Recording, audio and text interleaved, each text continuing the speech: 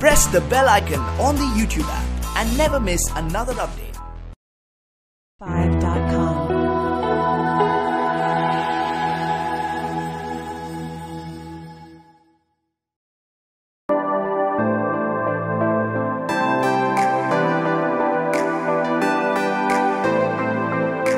नागपूर जिल्ह्यातील मोदा तालुकासह शेतकरी खरेदी विक्री संस्था मर्या येथे शेतकऱ्याची लूट सबसिडी असून ही सबसिडी नाही असे सांगितले जाते मोद।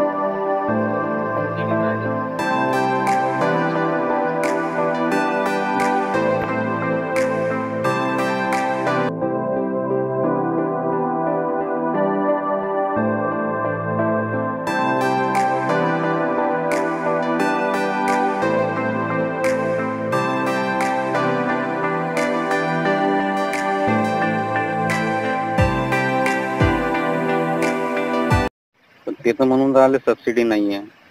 कोण म्हणत आहे? तिथं बसलेला बाबू. आ, त्यांचे मॅनेजर आहेत का तिथे? हम्म, बाबू नाव आहे त्याच्या बाबूचं. बरं फक्त एक काम करा ते कांबे साहेब आहेत. कृष्णा पत्रे. कृष्णा पत्रे म्हणून आहे बाबू. आपले जे तिथे मॅनेजर असतात कांबे म्हणून. कांबळे ते आहेत का कांबळे पा- कांबळे. कांबे कांबे हो आहेत ना कांबळे. द्या बरं त्यांच्याकडे. हॅलो. हॅलो त्यांना ते तीनशे पस्तीस बियाणं पाहिजे आहे. मग त्यांना काय आपण सबसिडीवर नाही म्हणत आहोत? ते शेतकऱ्याला एकच बॅग द्यायची आहे ना? हो एका शेतकऱ्याला एक बघ द्यायचे आहे. हो तर त्यासाठी सातबारा आपल्याला हे पाहिजे आहे ना? हो हो. बरोबर आहे ना. हा. आणि एका शेतकऱ्याला एकच देऊ ना आपण? हा एका सातबाऱ्यावर एक बॅग म्हणजे एका नावानं.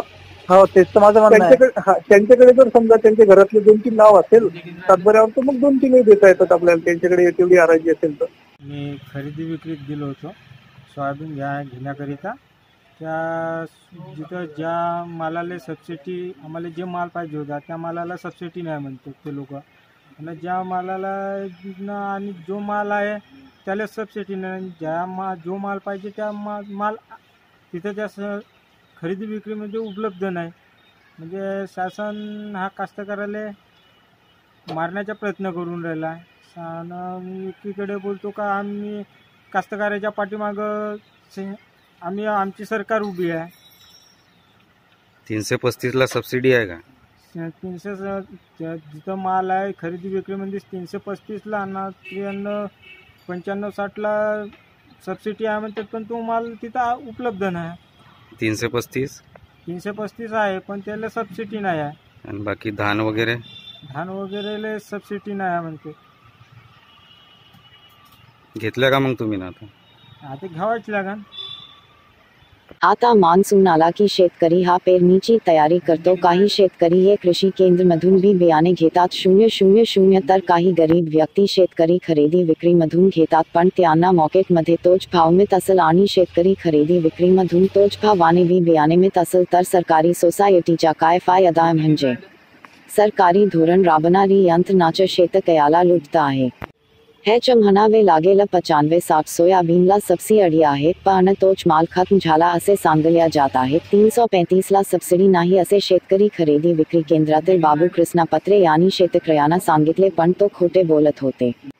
काही शेतकऱ्यांच्या लक्षात आले, त्यानंतर जिल्हा कृषी व्यवस्थापक राठोड यांना फ़ोन केला. असता ते म्हणालेत की तीन सौ पैंतीस वर सबसिडी आहे, त्यासाठी सात बारा आणि आधार कार्डला गेलं सात बारायावर जेवढे नावं असतील तेवढे बी बियाणे देण्यात येईल असे ते म्हणालेत पण मोदा शेतकरी खरेदी विक्री संस्थामध्ये अस लिखित रूपात कोणतीही सूचना फलक लिहिले नव्हते आणि शेतकऱ्यांना कोणत्याही प्रकारच्या योजना सांगितल्या जात नाही अशा प्रकारे शेतकऱ्यांची बाजारभाव प्रमाणे लूट तिथे बघायला मिली. याबद्दल जिल्हा कृषी व्यवस्थापक यांनी त्यांना नोटीस बजावून कारवाई करू असे ते म्हणालेत.